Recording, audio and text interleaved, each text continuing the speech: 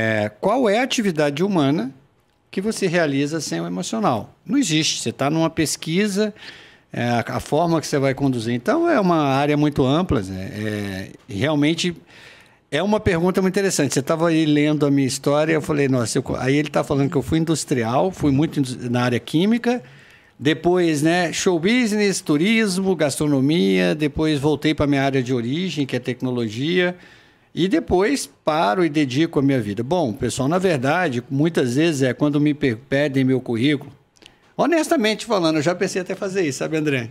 E mandar um currículo assim. É, eu, a minha história é a história de um pai que deu errado. Aí era isso que eu podia explicar, porque na verdade o que acontece? Eu tive uma carreira diferenciada, uma carreira assim, não, não padrão, né? É, eu posso dizer que uma carreira, uma carreira entre 20 e 30 anos meteórica na área industrial. Então eu cheguei quando muita gente está se formando, eu já era diretor né, de uma indústria Considerada gigante. uma carreira de sucesso. Dentro do parâmetro, assim, vamos dizer, social, Andriane, eu acho que é de sucesso. Hoje, se voltasse atrás, eu questionaria muito e eu não sei se isso aí era o sucesso. Hoje eu não traduzo isso como sucesso, para falar a verdade para vocês. Né? Tanto que me levou ao colapso, né? Então, hoje eu queria muito, é, Zé, quando você me pegou falando no ensino médio, gente, é mostrar para as pessoas exatamente questionar o que é sucesso, né? principalmente nessa sociedade ocidental. Você falou, inclusive, para alunos, professores né, e pais. E isso. o foco, inclusive, era mais para os pais. Né? É, na verdade é isso. Porque, na verdade, é uma sucessão é, de um processo hereditário. A gente acha que a gente herda a sua carga genética, mas toda a mente, a sua mente, a mente da Andriane, foi, foi totalmente modelada por uma geração anterior. Então, a conclusão que eu cheguei, eu tenho que chegar a, a minha fala tem que chegar para quem está modelando essa geração que está vindo aí. Principalmente essa. Por quê? Porque eles podem fazer diferença ou não. Porque se eles forem modelados como a geração anterior, eles vão repetir o mesmo erro. Aquela velha frase de Einstein, né? A mente que te levou para um problema não te tira dela.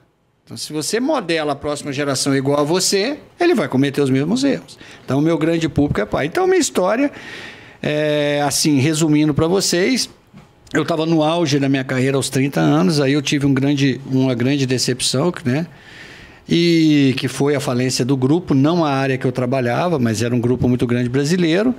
E aí eu decidi, me passou uma frase na cabeça. Falei assim, eu nunca mais vou viver o sonho que não é meu. Hum. Ou seja, eu não vou trabalhar mais de empregado para ninguém. Por quê? Porque você apaixona pelo processo, você dá a sua vida e de repente a pessoa leva o negócio para um rumo totalmente diferente. Eu larguei tudo, fui morar nos Estados Unidos, precisamente fui morar em San Diego. Volto para o Brasil, entro nessa área de entretenimento, turismo, volto para minha área de TI e aí eu fui pai. Aí eu descobri o que, que era, o que eu queria da vida. Num primeiro sinal, mas não foi suficiente para superar o que estava no meu inconsciente sobre sucesso que eu tinha herdado dos meus pais. Né? Não dos meus pais, dos meus antepassados. E aí eu continuei uma vida ali por mais seis, oito anos. E seis anos depois veio um menino. Eu falo que meu filho ele veio para me questionar, para me mostrar uma série de coisas que eu não tinha enxergado na primeira filha. E aí essa falta de conexão com meus filhos, a percepção que eu estava criando um.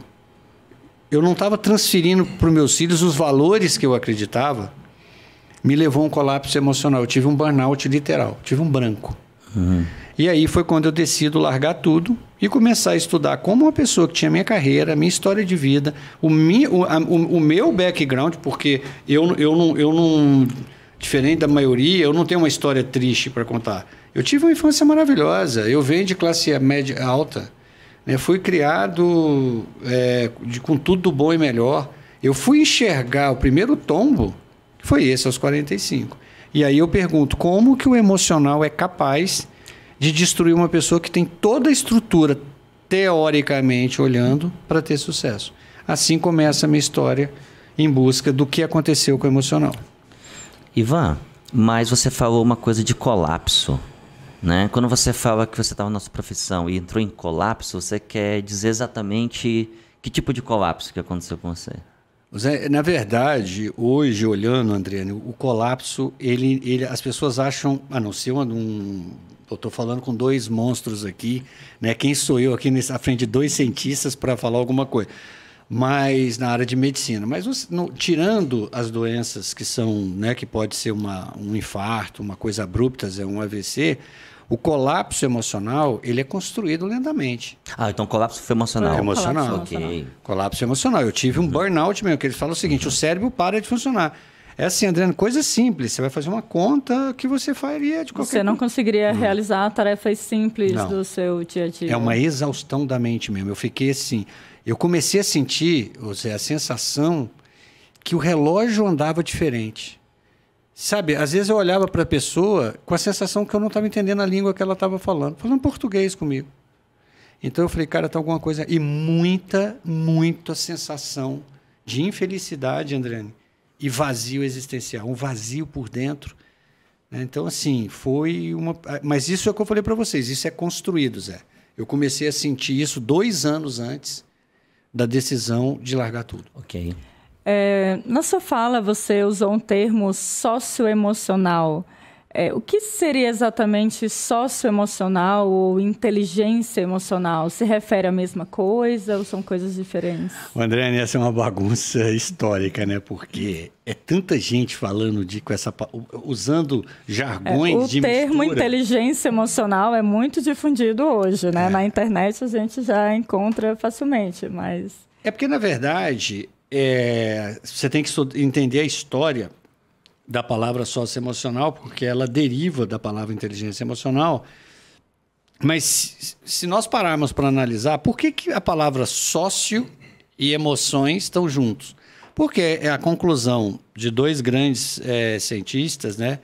que chama Peter Salovey, o atual presidente da Universidade de Yale, e John Mayer, que era um grande psicólogo da Universidade de Yale. Se eu não me engano, hoje ele está na Universidade de Princeton eles perceberam que todas as decisões, todas as decisões, sem exceção que o homem toma, né, principalmente nas relações sociais, é uma expressão de quem é ele emocionalmente. Então, se você é emocionalmente uma pessoa desequilibrada, a chance de você conduzir seus negócios de forma desequilibrada, de você se relacionar, você construir um casamento de forma equilibrada. Então, o sócio emocional foi a percepção que não existe como trabalhar só o sócio, como muita gente fala, ah, vou dar curso de relações humanas. Uhum. Esquece. Isso não vai dar certo nunca se você não trabalhar o, o, o eu interior, a estrutura emocional daquela pessoa. E não adianta também ficar é, ensinando educação emocional, inteligência emocional para alguém e não ensinar essa outra parte que é social. Então, é esse casamento foi o que eles perceberam. Então, essa história é uma história muito bacana, né?